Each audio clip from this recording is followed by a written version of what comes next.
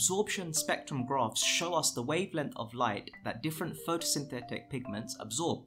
If you look at this graph, light absorption is on the y-axis and the wavelength of light is on the x-axis.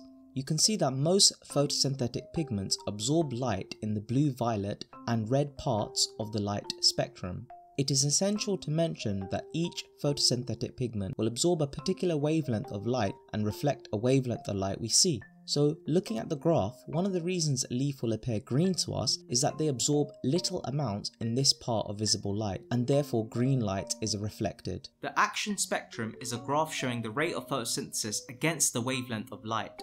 These action spectrums are obtained by projecting different wavelengths of light in turn for a given period of time to green pondweed. The gases produced is collected and the volume is measured.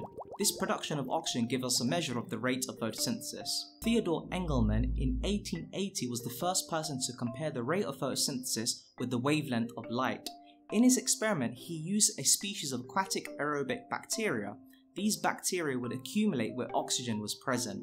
Engelmann split sunlight into its different colors using a prism and shone this light onto filamentous algae which are made up of rows of photosynthetic cells.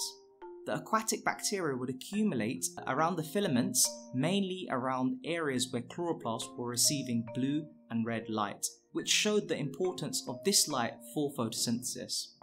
When we compare the absorption and action spectrum graphs for chlorophyll pigments, they match and we can see that in green plants, blue and red light are used as the energy source for photosynthesis.